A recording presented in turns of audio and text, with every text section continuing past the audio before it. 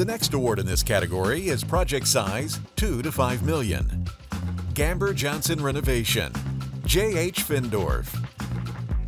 Findorff and Sunrise Point Ventures partnered to renovate an existing warehouse into a world headquarters administrative office suite for Gamber Johnson. The facility also includes a full service gym, class enclosed collaborative and private breakout spaces, and a recreation area and light manufacturing facilities. Findorff would like to thank Gamber Johnson, along with its partner contractors, project team, and skilled craft workers for making this project a success.